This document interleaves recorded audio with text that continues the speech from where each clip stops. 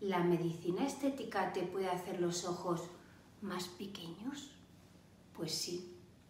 Es muy comentado el efecto cara almohadilla cuando se pone ácido hialurónico en exceso en la cara, pero poco se habla de ojos pequeños por exceso de ácido hialurónico. Te explico. Debemos controlar muy bien la cantidad de volumen que ponemos en nuestra piel, porque eso va a cambiar la proporción del tamaño de tus ojos en la cara. Yo siempre prefiero unos ojos proporcionados que unos ojos pequeños por culpa de rellenar todos los tejidos que los rodean. Esto no quiere decir que no te trates, sino que te trates bien y que renuncies a la perfección.